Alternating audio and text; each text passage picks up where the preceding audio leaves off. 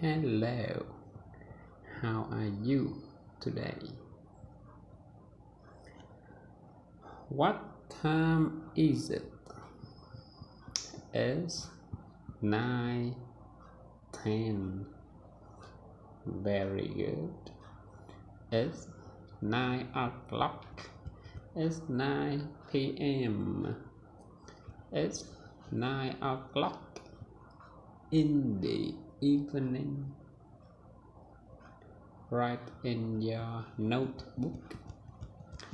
It's seven o'clock in the morning. It's seven a.m. It's twelve o'clock. It's twelve p.m. It's noon. It's four o'clock in the afternoon. It's four p.m. It's seven o'clock in the evening. It's seven p.m. It's ten o'clock at night. It's ten p.m. It's twelve o'clock at night. It's twelve a.m. Sleep. Ha ha ha. Midnight. Listening. 32, Exercise 4, Listening. It's 4 p.m. in Vancouver. Tracy and Eric are calling friends in different parts of the world. Listen. What time is it in these cities? What time is it now, Eric? It's four o'clock.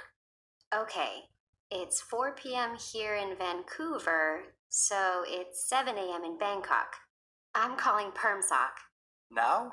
He's sleeping. Oh, you're right. Well, let's call your friend Ian. What time is it in London? It's 1 a.m. Oh, that's late. What time is it in Tokyo? 9 a.m. Great. I'm calling Mariko. Wait a minute. She's in Sao Paulo this week. Remember? Oh, right. Well, I have her phone number in Sao Paulo. What time is it there?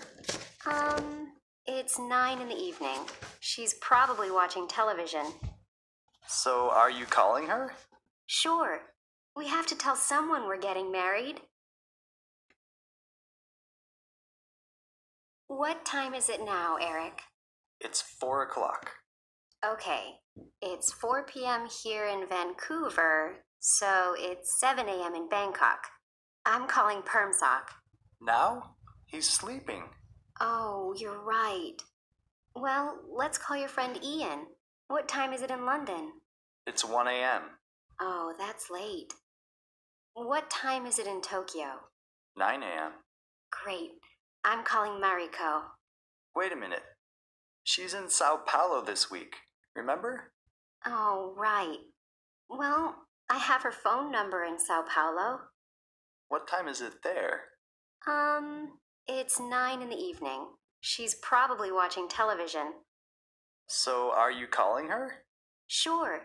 We have to tell someone we're getting married.